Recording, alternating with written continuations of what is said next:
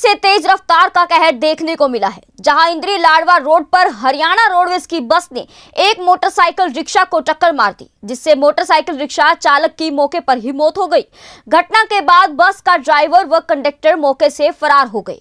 मृतक का नाम किशोरी लाल बताया जा रहा है और वह इंद्री के गाँव रायत खाना का रहने वाला था। मिली जानकारी के अनुसार हरियाणा रोडवेज़ की यमुनानगर डिपो की बस यमुनानगर से दिल्ली जा रही थी। बाइक रेहड़ी चालक गाँव धुमसी से जैसे ही लाडवा इंद्री रोड पर चढ़ने का प्रयास किया तो तेज गति से आ रही हरियाणा रोडवेज़ की बस ने उसे जोरदार टक्कर मार दी, जिससे वह बस के नीचे आ गया और वहीं उसकी मौके पर ही मौत हो गई।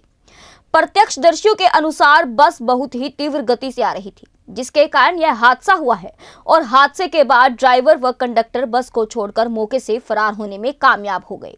बस में काफ़ी सवारियाँ थी, लेकिन सभी यात्री सुरक्षित रहे। किसी को कोई चोट नहीं लगी। घटना की सूचना मिलते ही मौके पर पहुँची पुलिस और मौके पर शव को कब्जे में लेकर पोस्टमार्टम के लिए भिजवा दिया है।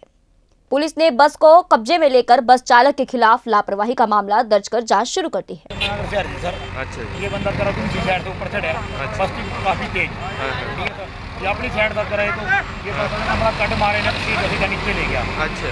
मौके पर ड्राइवर कनेक्ट उसी बात किया सर। ये सर कम से कम बीस मिनट में सिखाना हमारे नीचे दबे ने। हाँ, तीन साथ ही लिया सर। सौ नंबर है फ़ोन कराया वो भी पौने घंटे बाद आए।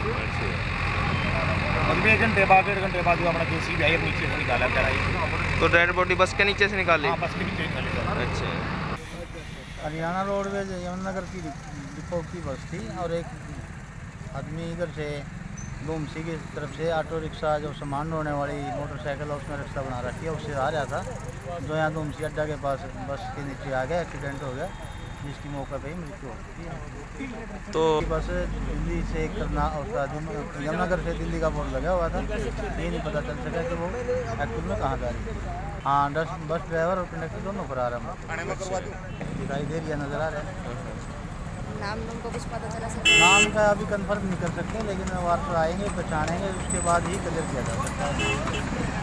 तो ये तो जो ये रेडी वाला है ये गाँव में से आ रहा है इधर से जैसे ही इसने चढ़ाई तो लाडवा की तरफ़ से बहुत तेज़ गति से बस आ रही थी और उस बस वाले से वो बस कंट्रोल नहीं हुई तो उसके कारण ये एक्सीडेंट हो गया और मौके पर डेथ हो गई तो काफ़ी गति बहुत ज़्यादा तेज ओवर तेज। और ये हम सुनते भी हैं मैं एक समाज सेवी हूँ मैं भी घूमता फिरता हूँ।